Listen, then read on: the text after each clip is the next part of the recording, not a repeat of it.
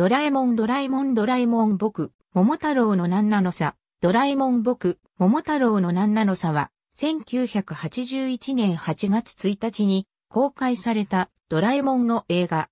通常は3月に上映されるドラえもんの映画であるが、今作は諸事情より夏休み映画として公開された映画でもある。大長編ではなく、歴代の映画シリーズにカウントされておらず、番外扱いとされている。上映時間も短い。1981年は、春休みの宇宙開拓史と夏休みの本作で映画が2本公開された。監督は神田武幸。長編作品21エモン宇宙へいらっしゃいの兵営として公開された中編作品。タイトルはダウンタウンブギウギバンドのヒット曲港の横横浜横須賀の1フレーズあんたあの娘の何なのさ？のパロディ。藤子 F 藤尾の漫画ドラえもん中のエピソードの一つ僕桃太郎の何なのさ？を原作とする。小学4年生1975年9月号のドラとバケルともう一つにて全三部作として掲載された漫画。ドラえもん、のび太、そしてバケル君の主人公であるバケルがタイムマシンを使い桃太郎の謎を解きに行くという物語で642年前の日本が舞台である。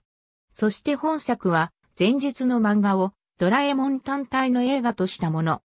バケルの役割がドラえもんのレギュラーキャラクターにバケル君の能力がドラえもんの道具に置き換えられているなど物語の細部の調整が行われている。また、テレビアニメでは放送時間帯変更に伴い同年10月8日、放送部により主要キャラクターデザインの細部変更が行われたが、本作では一足早く変更後のデザインが使用された。夏休みの宿題として自分の街の過去を調べることになったのび太。ドラえもんの秘密道具、タイムカメラで過去の光景を撮影したところ、なんと宝を荷車に積んだ桃太郎一行の姿が映っていた。一方、のび太のママが偶然であった外国人が持っていた侍の格好をした人物の小さな絵を見せられる。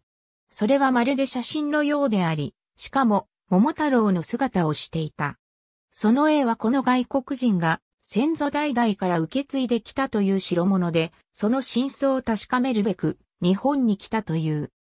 桃太郎は実在の人物かもしれないそう思い始めた。のび太らはいつものメンバーと共にタイムマシンで過去の日本へと向かうのであった。2008年3月7日、テレビの1時間スペシャルで僕、桃太郎の何らの差2008と題したリメイク版が放送された。主な変更点は、舞台は637年前、オランダ人は最初から日本語を話せる。2010年7月21日発売の DVD、TV 版、ニュードラえもんプレミアムコレクション冒険スペシャル戦え。時空を超えてに収録されているドラえもん映画作品。ありがとうございます。